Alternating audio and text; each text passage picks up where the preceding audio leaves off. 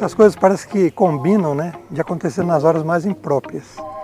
E aí o que, que aconteceu? O cavalo começou a ter problema de cólica e nós acionamos o veterinário de campo para que ele fosse lá dar os primeiros atendimentos.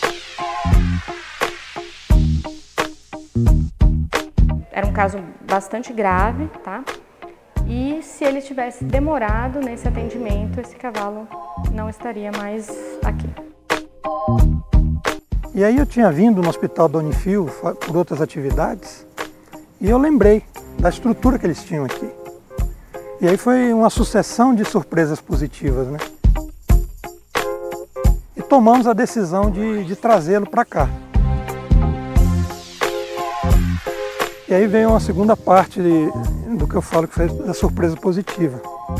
Quando nós chegamos no portão, você imagina, duas horas da manhã, tudo fechado, o porteiro já estava nos esperando. Isso me deu assim uma, uma impressão muito positiva. A gente precisa estar com uma equipe ah, preparada, né? nós temos vários funcionários com especialidades diferentes, é, para atender da melhor forma o animal. E tinha uma equipe pronta, esperando o animal. Acho que tinha umas oito pessoas ali, entre veterinários, estagiários, estudantes. Foi muito bom. profissionalismo, né? cada um fazia uma coisa, com foco, com seriedade. Eu fiquei realmente muito impressionado, eu não esperava de jeito nenhum. Né? Naquela altura da, da madrugada, uma equipe motivada, esperando, e, enfim. Daí para frente tudo correu realmente muito bem.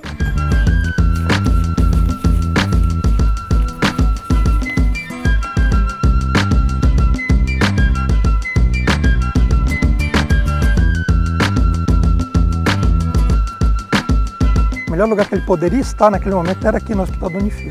Para sair vivo ou não, mas era aqui que ele tinha que estar.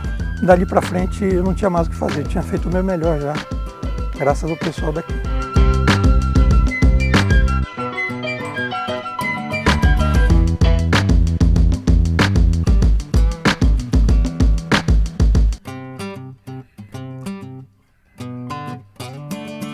O cavalo está bem, recuperou totalmente graças, sem dúvida nenhuma, ao empenho, a profissionalismo, tudo, toda a equipe aqui é fantástica. Realmente é fantástica.